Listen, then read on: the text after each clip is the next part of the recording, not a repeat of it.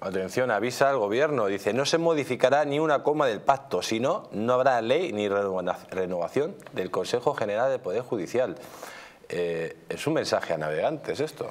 Sí, lo que pasa es que efectivamente eh, aquí hay dos cuestiones, hay que hacer la ley y en esa ley el Partido Socialista se tiene que comprometer y se compromete por ley, se tiene que comprometer a que efectivamente el Consejo del Poder Judicial elabora, elabora una ley que va al Congreso.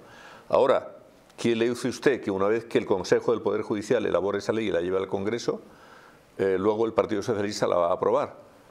Porque esto es, esto es complicado. Dirán que bueno, aquí está la soberanía nacional, el Congreso, el Consejo, el Congreso de los Diputados eh, tiene autonomía suficiente como para decidir qué tiene que legislar o no, y dirán, bueno, es que tal como está redactada no nos vale, porque pueden eh, utilizar muchos eh, recovecos para mm, llegar a la conclusión de que no apoyan esa ley. Ahora bien, dice Feijó, es que mm, si no se apoya esa ley no hay consejo. Mm, relativamente, porque, porque la aprobación del consejo, de los miembros del consejo, es previa. Y efectivamente en esa ley se tiene que decir que el nuevo consejo es el que va a elaborar la ley para que los jueces elijan a los jueces. ¿Vale? Eso es así. Pero si después, una vez que el Consejo haga esa, el Consejo Nuevo del Poder Judicial haga esa legislación, si el Partido Socialista no la quiere apoyar, no la apoya.